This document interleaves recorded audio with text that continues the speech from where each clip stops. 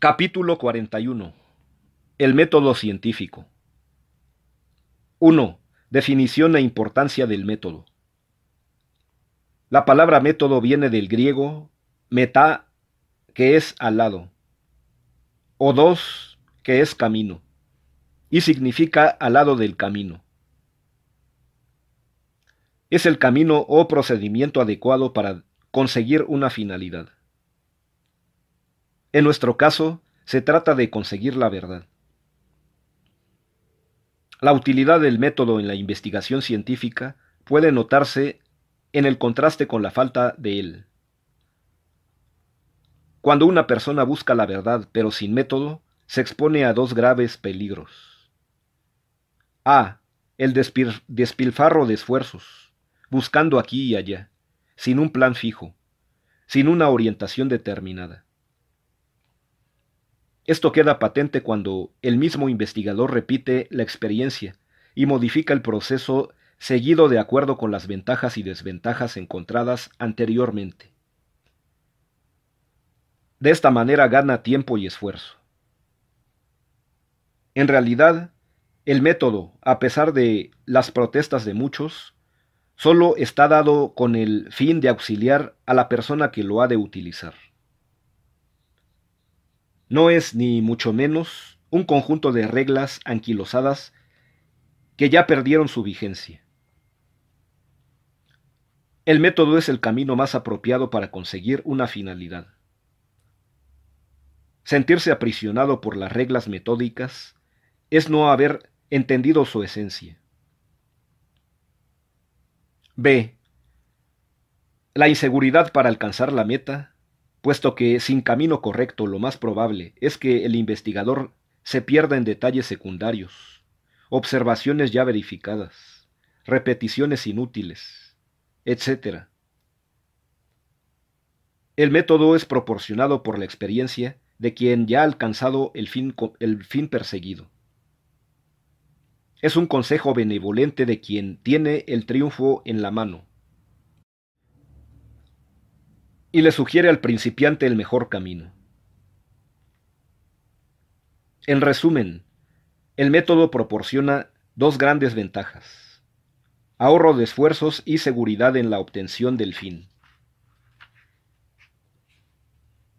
Indudablemente, además de las diferencias de método de acuerdo con los distintos objetos de las ciencias, también se concibe una diferencia en la aplicación del método de acuerdo con la peculiaridad del sujeto investigador. La propia personalidad puede imponer un sello particular al procedimiento seguido en una investigación. Sin embargo, hay reglas y procedimientos tan generales que su desconocimiento o su falta de aplicación podrían hacer caer fácilmente al investigador en el laberinto del desorden, y al fin en el desánimo y en la frustración. Hay que pensar por sí mismos, pero no por eso hay que dejar de considerar lo que otros ya han pensado. 2. El análisis y la síntesis. Todo método científico se encausa por una de estas dos grandes direcciones, el análisis y la síntesis.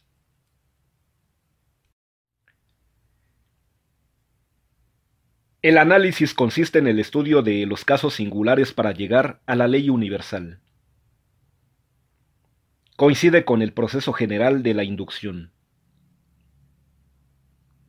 También se dice que es ir de los efectos a las causas, o de lo compuesto a lo simple. Por supuesto, es el método más adecuado en las ciencias experimentales, como la física, la química, la biología, etc. Lo contrario es el método sintético o deductivo. Va de lo simple a lo complejo, de la causa al efecto, del principio a sus consecuencias. Es el método apropiado para las matemáticas y la filosofía.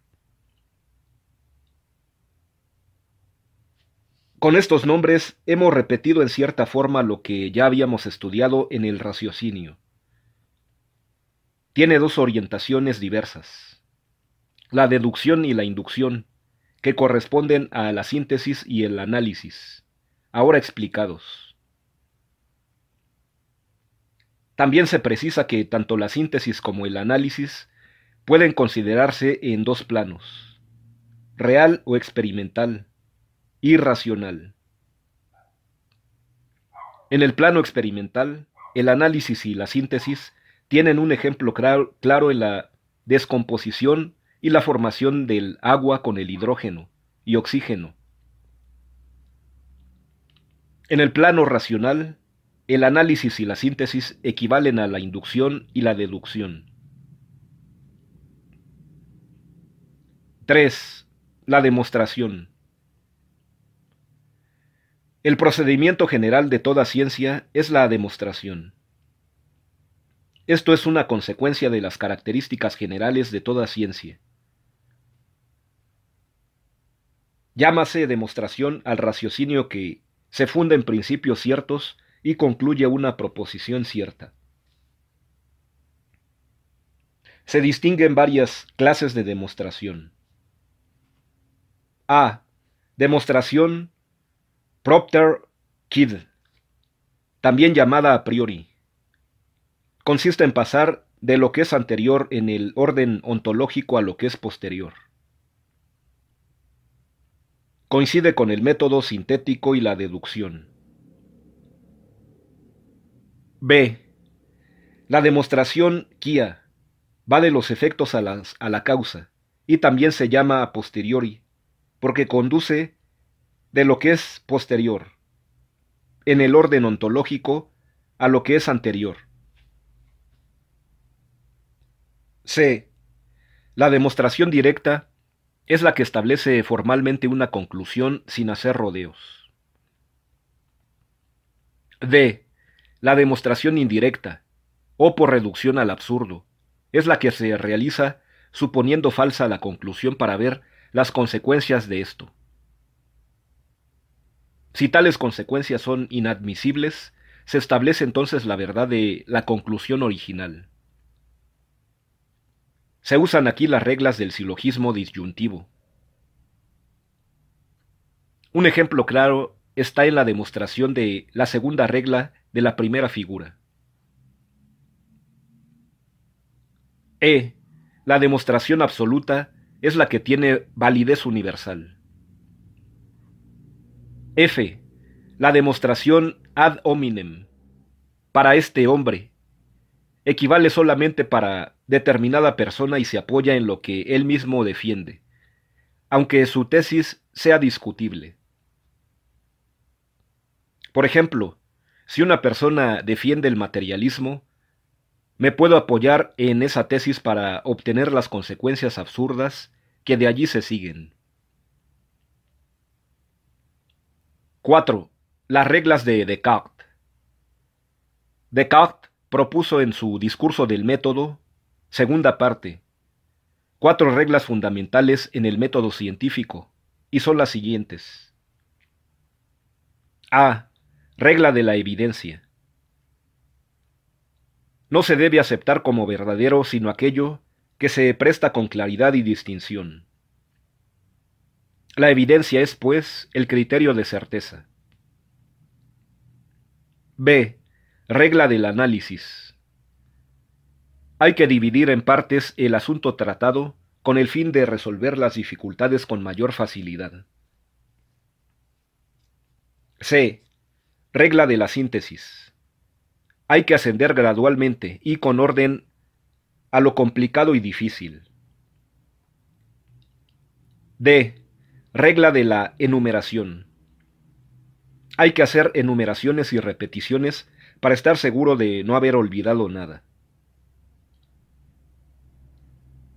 Como puede notarse, de nuevo el análisis y la síntesis aparecen como la médula de un método científico.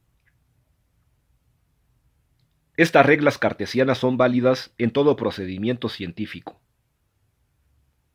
Sin embargo, ya hemos visto cómo su método filosófico adolece de algunos defectos. Confróntese capítulo 38.